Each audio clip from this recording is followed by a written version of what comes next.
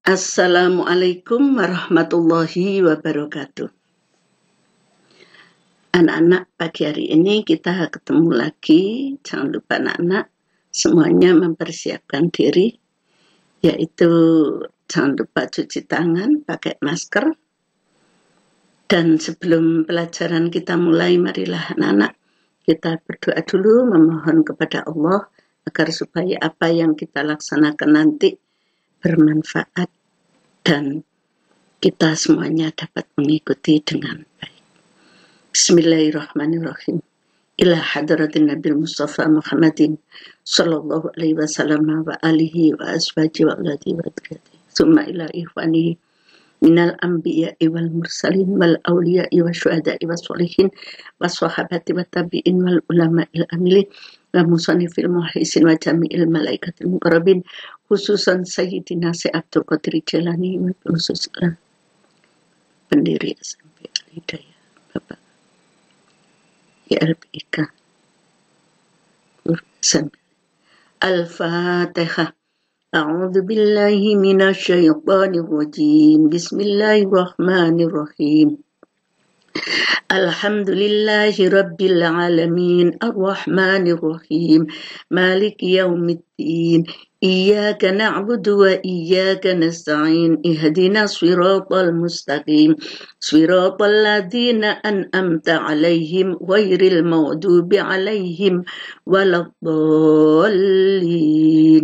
رب اغفر لي ولوالدي وللمؤمنين آمين. يا رب العالمين. بسم الله الرحمن الرحيم. الله لا إله إلا هو الحي القيوم. لا تأخذه سنة ولا نوم. له ما في السماوات وما في الأرض. من ذا الذي يشفع عنده إلا بإذنه. يعلم ما بين أيديهم وما خلفهم. ولا يحيطون بشيء من علمه إلا بما شاء. وسع كرسي السماوات والأرض ولا يؤده حفظهما وهو العلي العظيم. بسم الله الرحمن الرحيم.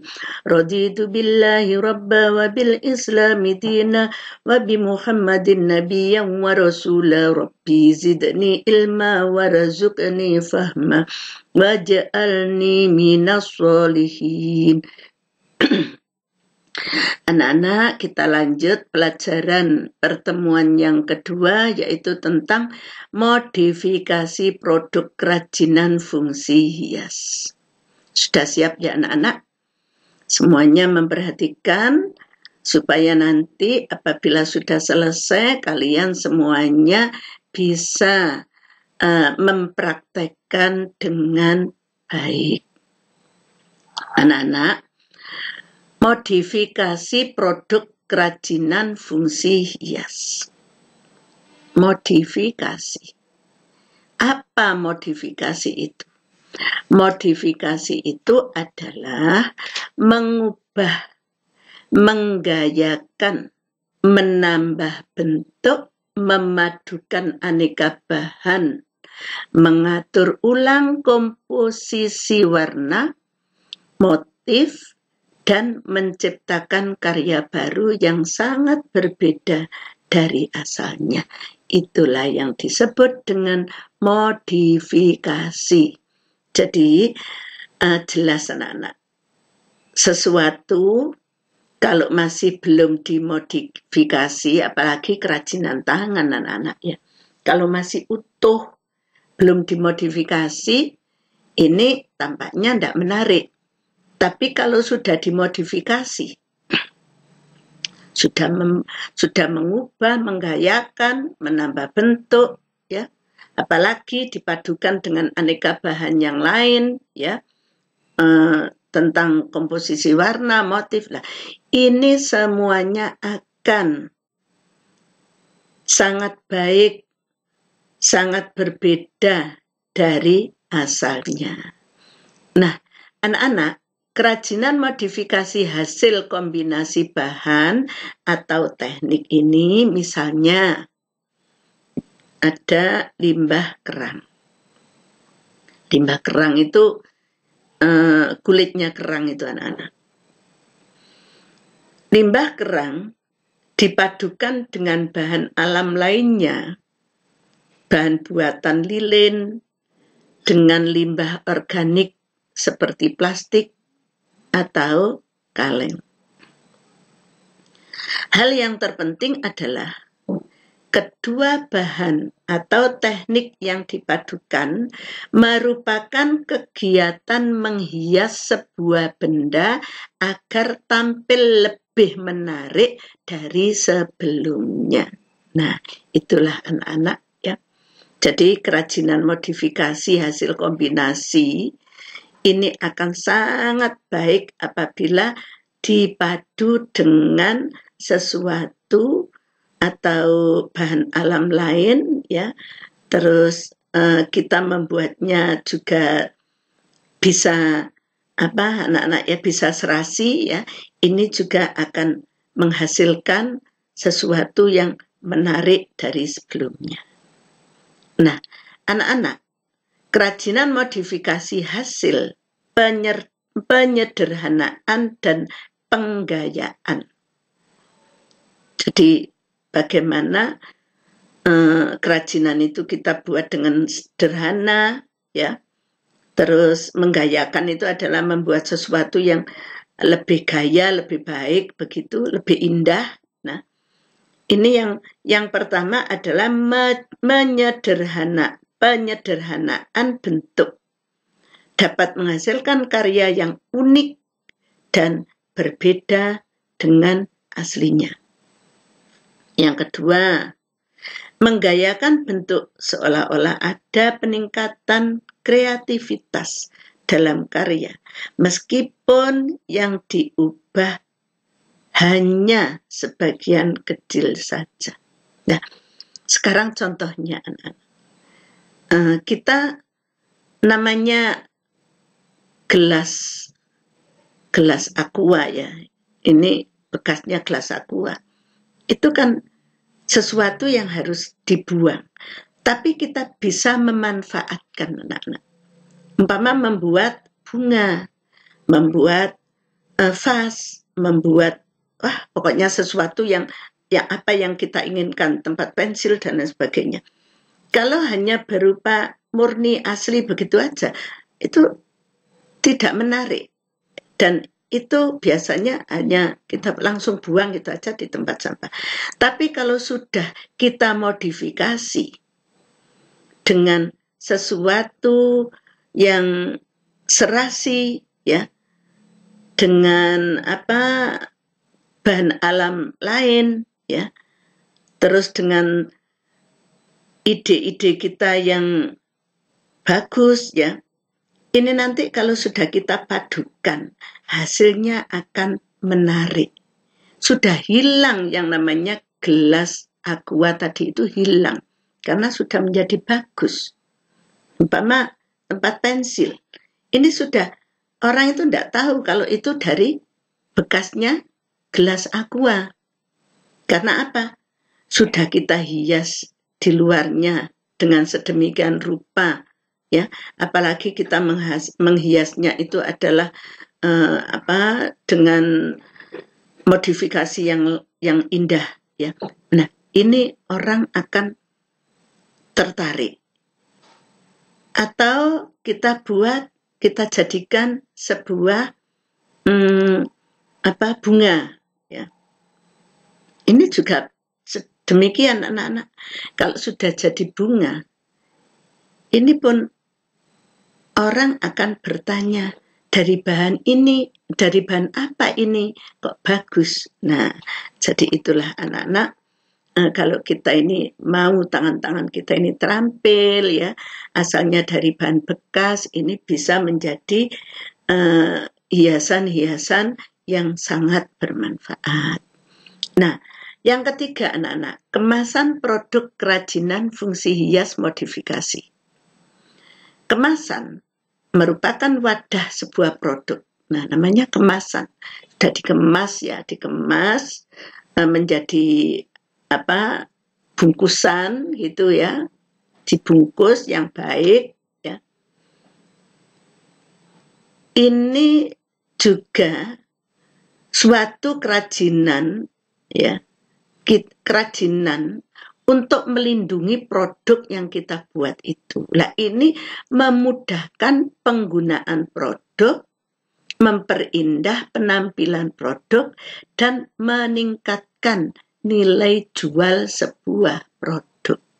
Nah, jadi anak-anak, kemasan itu banyak fungsinya, anak-anak. Ya, fungsinya itu adalah sebagai pelindung, sebagai tempat ya. Dan juga ya sebagai alat untuk menarik. Supaya orang yang melihat itu tertarik. Kemasannya kok indah kok bagus ya. Apa ini? Nah itu. Akhirnya orang itu tertarik seperti itu. Nah. Kalau sudah tertarik seperti itu ini juga akan meningkatkan nilai jual sebuah produk. Prinsip desain berkelanjutan tetap menjadi prioritas, meskipun yang dibuat adalah kemasan. Perlu dipikirkan agar kemasan tidak langsung dibuang, tetapi dapat digunakan untuk fungsi yang lain, fungsi lain. Ya. Dengan demikian, penting untuk memikirkan bentuk kemasan yang menarik untuk dibuat. Jadi kalau bisa membuat kemasan itu jangan asal-asalan. Kalau bisa kemasannya itu kita atur sedemikian rupa sehingga kalau dibuka kemasan itu bisa dimanfaatkan lagi, tidak langsung dibuang tapi bisa dimanfaatkan lagi menjadi kerajinan lagi. Nah, dengan demikian kita sudah ikut membantu pemerintah mengurangi limbah yang harus dibuang ya. Nah, jadi itulah anak-anak kalau kita uh, mengemas uh, produk yang kita buat, kalau bisa kemasannya itu kita pikirkan bagaimana kemasannya ini bisa dimanfaatkan lagi. Kalau kemasannya itu dari kertas hias, mama ya. Nah, kertas hias itu juga bisa dipakai untuk sesuatu ya menurut keinginan kita. Kalau dari plastik, plastiknya juga gitu bisa dimanfaatkan untuk kerajinan tangan yang lain. Nah, jadi itulah anak-anak kalau kita mau uh, apa ya jadi orang yang terampil segala sesuatu ya yang jelek yang harus dibuang kalau kita terampil menjadi sesuatu yang sangat bermanfaat berkarya kerajinan fungsi hias modifikasi yang perlu diperhatikan anak-anak apa yang perlu diperhatikan kalau kita uh, apa berkarya kerajinan fungsi hias modifikasi. Yang perlu diperhatikan yang pertama adalah perencanaan. Kalau kita akan membuat segala sesuatu yang kita inginkan, ini pertama kita merencanakan. Kalau sudah merencanakan, ya, terus kita menyiapkan, ya, menyiapkan baik itu bahan, alat-alat yang lain itu kita siapkan ya. Yang sudah kita rencanakan tadi itu bahannya kita siapkan. Kalau sudah siap perencanaan itu maka yang kedua adalah pelaksanaan. Nah jadi kalau pelaksanaan ini perencanaannya sudah matang, sudah siap, alatnya, bahannya siap, ya, maka melaksanakan itu enak. Tidak mencari ke sana kemari kekurangan ini kekurangan itu enggak ya. Kita melaksanakan dengan enjoy dengan santai tapi hasilnya memuaskan kalau sudah selesai melaksanakan kemudian mengevaluasi ya kita evaluasi oh ini kok gini ini kok gini ya kalau kalau kerajinannya sudah selesai kita sawang oh ini kurang gini, kurang gini. Nah, Kalau sudah dikemas juga gitu. Kemasannya juga kita perhatikan. Kok ini gini ya, ini kok nggak menarik ya. Ini kok bentuknya ndak apa tidak simetris mama ya. Nah, itu namanya evaluasi. Dengan demikian, segala sesuatu apa yang kita buat kemudian kita evaluasi, maka berikutnya itu akan kalau kita membuat lagi itu akan lebih baik dari pembuatan yang pertama. Nah, jadi itulah anak-anak uh, kalau kita mau belajar ya uh, memodifikasi produk kerajinan fungsi hias ya maka hasilnya akan memuaskan dan bermanfaat bagi kita semua. Untuk itu anak-anak uh, apa yang saya sampaikan mulai dari awal hingga akhir anak-anak ya jangan lupa di rumah karena waktu kalian itu adalah banyak di rumah kalian bisa mengotak-atik mengutek-utek belajar terampil ya jadi tidak mudah membuang uh, apa bekas-bekas atau bungkus-bungkus apa saja yang ada di rumahmu. Semuanya itu kalau tanganmu terampil, maka kamu akan menghasilkan sesuatu yang bagus ya. Jadi itulah uh, yang perlu saya sampaikan pada pagi hari ini. Mudah-mudahan bermanfaat bermanfaat bagi kalian dan mudah-mudahan kalian bisa mempraktekkan apa yang saya sampaikan kepada kalian tadi. Dan mudah-mudahan kalian menjadi anak-anak yang terampil, tidak bermalas-malasan ya.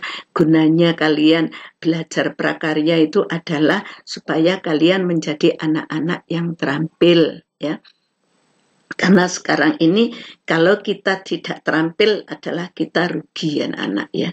Di samping itu ya jangan lupa anak-anak ya, kalian tetap membantu kedua orang tuamu di rumah ya.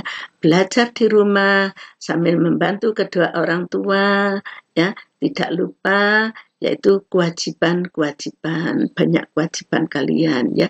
Ya kewajiban dengan kepada Allah kewajiban kepada orang kedua orang tua ya. Dan kewajiban-kewajiban kalian sebagai pelajar ya. Tetap belajar ya. Jangan sampai kalian menyusahkan orang tua kalian. Patuh ya pada kedua orang tua. Nah saya kira cukup sekian marilah kita doa majelis dulu ya kafaratul majelis Semoga apa yang saya sampaikan bermanfaat bagi kalian dan nanti kalau sudah selesai jangan lupa sampaikan salam saya kepada kedua orang tua kalian. Kalian tetap menjaga kesehatan di rumah. Kami akhiri Bismillahirrahmanirrahim. Subhanakallahumma wa bihamdika asyhadu an la ilaha illa anta astaghfiruka wa atubu ilaik. Kami akhiri billahi taufik wal hidayah wa biridha wal inayah. Wassalamualaikum warahmatullahi wabarakatuh.